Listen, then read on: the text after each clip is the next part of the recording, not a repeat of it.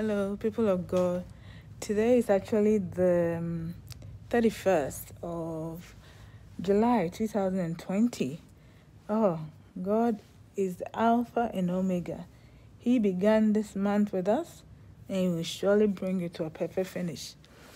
God is the Alpha and Omega. He began this month with us, the month of July, will bring it to a perfect finish. Just like He began January with us and he, he that has started a good work will surely bring it to a perfect finish.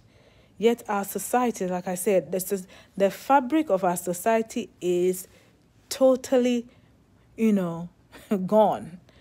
The, there's no values, you know. People will lie, people will say things that are not founded, you know. People are living a life of deception. People are playing games as if God cannot see. He's not a man that he will lie, neither the Son of Man that he will repent. He is not a man that does not see. He sees beyond cameras. he sees beyond cameras to the heart and the core of men.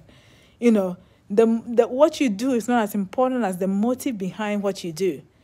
You know, many of these people in this generation have have, have been rejected. May Christ be revealed, even in this coronavirus situation because the fabric of our, our society has been totally degraded. There's no what we call values anymore.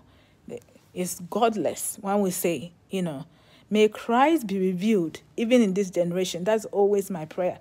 Because you don't even wish the worst, you don't you don't wish, you know, your worst enemy into eternal condemnation.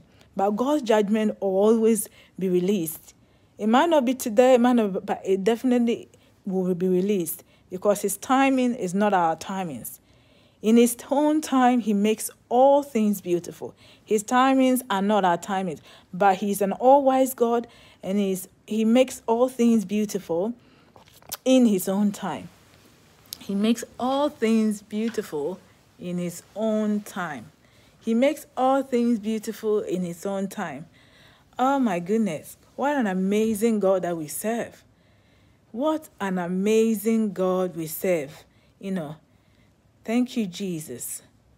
Angels bow before him, heaven and earth. Are, oh, we give you glory, Lord. Thank you, Jesus.